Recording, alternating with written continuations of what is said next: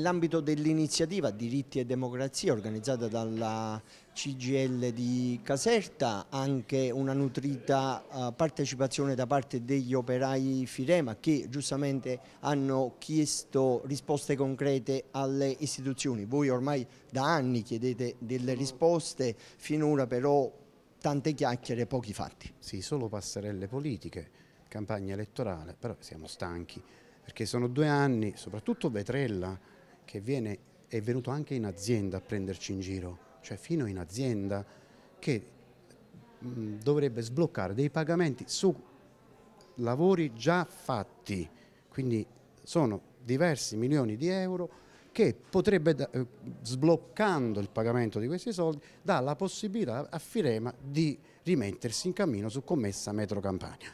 Quindi Attualmente ne sono solo una ventina di operai in azienda. Questo permetterebbe anche il rientro in azienda di altre, altri dipendenti che attualmente sono scaricati in cassa integrazione e fa rabbia. Parliamo di quanti dipendenti? Siamo, attualmente siamo quasi 400 e quindi insomma è proprio poco eh, il personale che è in azienda. Questo ci darebbe la possibilità di rientrare e di scaricarci dalla cassa integrazione, anche perché vivere di cassa integrazione è durissima, è durissima e quindi eh, sentire per l'ennesima volta dirò, farò, io poc'anzi ho invitato Zinzi a occuparsi un po' più dei problemi reali, come quello della Firema, perché sono due anni che andiamo avanti su questa storia della commessa Metro Campania e Sepsa. Tra l'altro c'è da dire che quando è venuto in azienda Vetrella diceva che non era più né SEPS né Metro Campania, eh, ma lui ne prendeva direttamente, lui ne assolveva il tutto.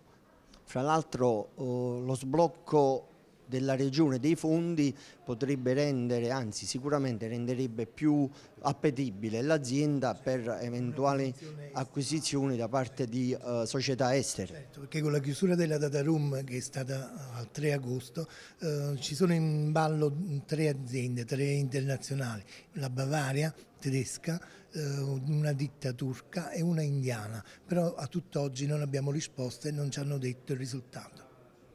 Il tuo collega prima diceva è difficilissimo vivere in cassa integrazione. Ci puoi spiegare anche per te cosa significa? È duro, è duro perché siamo sette di noi a casa.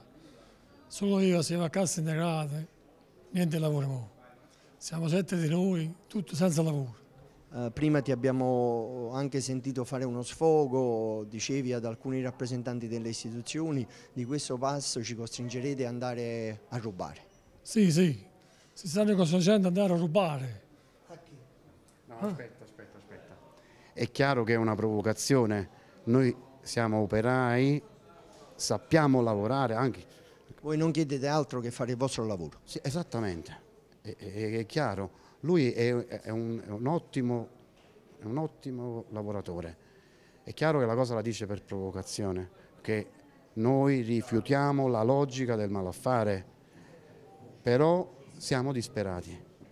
Non è possibile che ogni mese si debbano accompagnare dei colleghi per quanto riguarda i pacchi umanitari. È, è assurdo, fa rabbia e soprattutto dopo quando passa molto tempo e non ci sono risposte, ma solo mh, stanno, sapere che ci stanno prendendo in giro, diventa esasperante, diventa esasperante.